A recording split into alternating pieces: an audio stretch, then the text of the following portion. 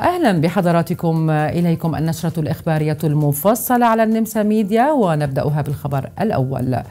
تجاوز عدد سكان النمسا 9 ملايين نسمة بسبب الهجرة وزيادة متوسط الأعمار وفقا لتقرير هيئة الإحصاء النمساوية